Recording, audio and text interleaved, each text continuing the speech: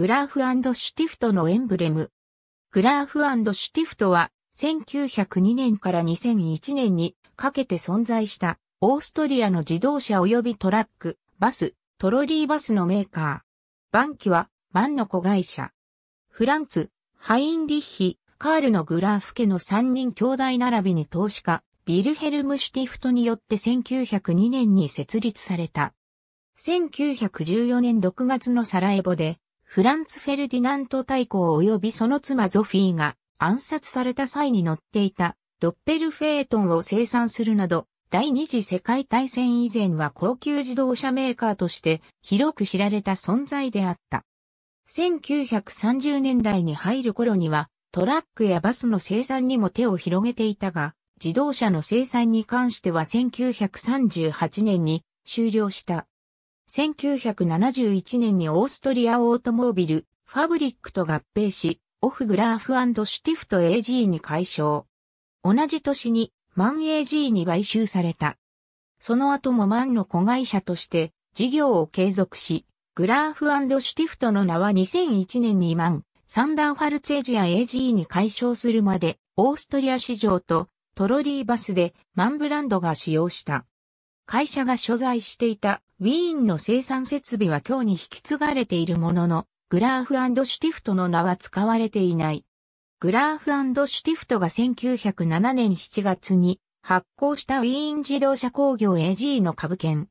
グラーフ兄弟たちは1893年にウィーンで自転車修理店を開業し、ほどなくして自転車の製造に進出した。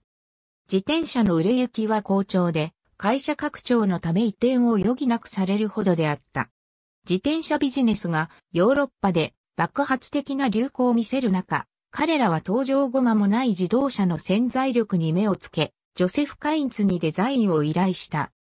出来上がったのは、ド・ディオン・ブートン社製短気筒エンジンを車体前方に搭載したボアテューレットで、当時としては珍しいフロントエンジンからフロントアクスルに動力を伝える構造であった。地図の資料によると1895年から1898年にかけて製造されたとみられる。おそらく世界初の前輪駆動の自動車であり、1900年にはこの技術で特許も取得しているが、量産化の日の目を見ることはなく、2台のみの製造に終わった。しかしながらこのボアテュレットは1914年まで日常的に使用され、1970年代初頭まで実動可能な状態にあった。1901年、グラーフ兄弟たちは、オーストリア人実業家のビルヘルム・シュティフトとの協力関係を築いた。シュティフトは自動車輸入事業を手掛ける傍ら、セレリタスブランドを立ち上げ自動車製造業にも乗り出していた。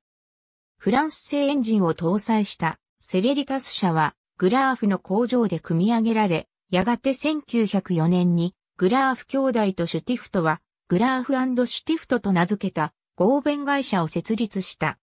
その後、自動車の製造販売を手掛けるアーノルド・スピッツのブランド、スピッツ車の製造を請け負っていたが、1907年にスピッツが経営破綻したのを機に、グラーフシュティフトの名を冠した自社ブランドの自動車の生産を開始した。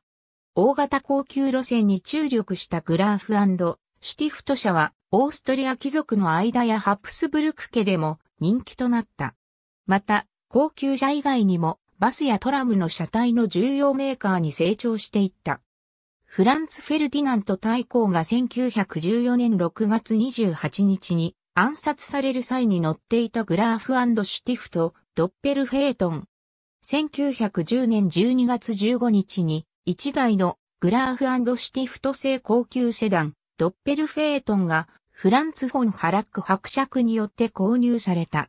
ハラックの購入したこの車は 32PS を発生する4気筒エンジンを搭載していた。1914年のサラエボでガブリロ・プリンツィプがフランツ・フェルディナント大公を暗殺した際に大公とその妻がハラックと共に乗っていたのがこの車である。この暗殺事件は宣戦布告及び第一次世界大戦の開戦に直結する一連の外交戦略を呼び起こした。1928年製のグラーフシュティフト車。グラーフシュティフトは戦争が始まると戦時需要に対応するべくトラック及びバス、特殊車両の生産を開始。これらは主力製品となり、非常に困難な時代の中で会社の交流を築いた。乗用車の製造は2リッターの中型モデル VK1 が1920年に再開されたのみである。VK1 は1925年まで製造され、1926年から VK2 にモデルチェンジして1930年まで製造された。グラーフシュティフトは1920年代から1930年代前半にかけて製造販売した6気筒クラスのモデルで高級車路線に回帰していた。1930年にグラーフシュティフト初の8気筒型高級車 SP8 を発表。1937年にその後継者となる SP9 を発表した。自動車製造事業における十分な収益性を確保するため、グラーフシュティフトは4.6リッター8気筒エンジンを搭載した小型モデル G35、G36、G8 を売り出した。また、低価格車市場への製品提供のため、1935年から1936年にかけてフランス車のモデルの一つを MF6 として組み立てることでシトロエンと合意した。後に、ドイツフォードとの合弁事業を開始。グラーフフォード V8 と名付けられた8気筒、フォードライセンス生産車を組み立てた。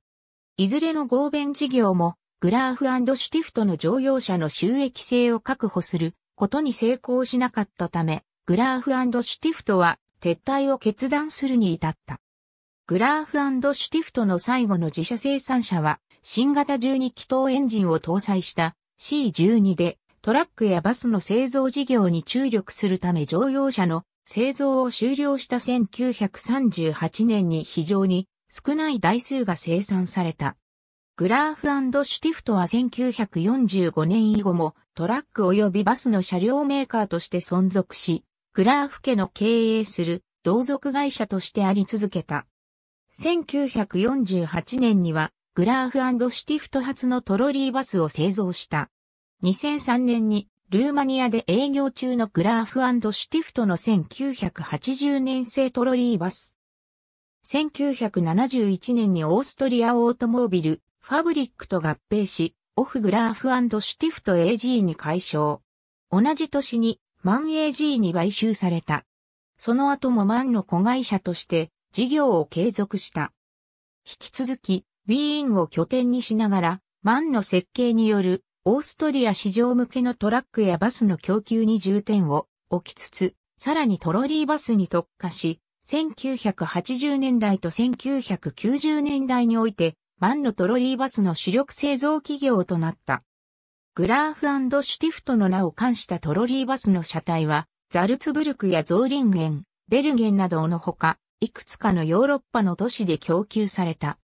2000年12月31日時点のオフ、グラーフシュティフト AG の従業員数は897人で、2000年下半期の売上高は1億1100万ユーロであった。